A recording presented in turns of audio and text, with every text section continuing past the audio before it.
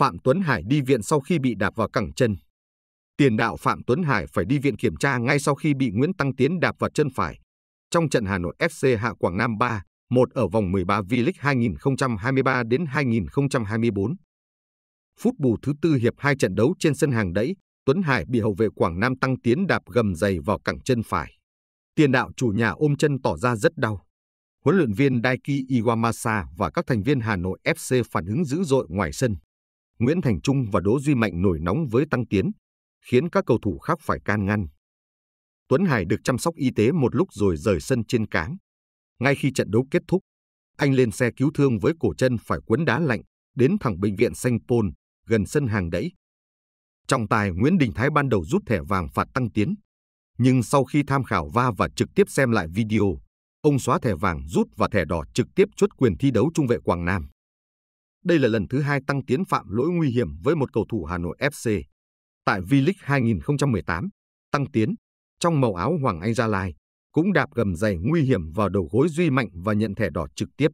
Sau đó, Ban kỷ luật Liên đoàn bóng đá Việt Nam tăng án phạt lên cấm 5 trận, còn Hoàng Anh Gia Lai phạt nội bộ cấm hết lượt đi. Tăng Tiến sinh năm 1994, trưởng thành từ bóng đá Đắk Lắk trước khi gia nhập Hoàng Anh Gia Lai năm 2016.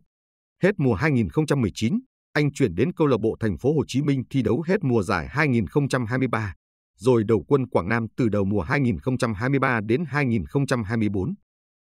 Tuấn Hải chấn thương gia tăng thêm nỗi lo cho huấn luyện viên Philip Chusier khi ông có mặt tại sân hàng đấy tối ngày 8 tháng 3 theo dõi trận đấu. Đội tuyển Việt Nam đang hướng tới hai trận quan trọng gặp Indonesia ở vòng loại 2 World Cup 2026 khu vực châu Á vào ngày 21 tháng 3 và 26 phần 3. Trước Tuấn Hải, Đoàn Văn Hậu không thể tham dự vì chưa bình phục chấn thương gót chân. Quế Ngọc Hải và Nguyễn Tuấn Anh cũng bỏ ngỏ khả năng thi đấu do chưa đạt thể trạng tốt nhất. Trước khi Tuấn Hải dính chấn thương, trận đấu Quảng Nam ở vòng 13 hôm nay diễn ra hành thông với Hà Nội FC. Chủ nhà mở tỷ số ngay phút thứ 10 sau cú đánh đầu của Joel Taguel từ quả tạt bên cánh phải của Phạm Xuân Mạnh. Đến phút 28, Xuân Mạnh đột phá từ cánh phải, rồi sút xa chân trái đưa bóng đi chìm vào góc thấp bên trái khung thành nhân đôi cách biệt. 5 phút sau, Tuấn Hải nâng tỷ số lên 3, không với cú vô lê trong vòng cấm. Đây là bản thứ 9 của tiền đạo này ở mùa giải 2023 đến 2024. Sang hiệp 2, Hoàng Vũ Samson rút ngắn tỷ số còn 1 đến 3 cho Quảng Nam, nhưng những nỗ lực trong thời gian còn lịa của hiệp 2 không đủ giúp đội khách đảo ngược tình thế.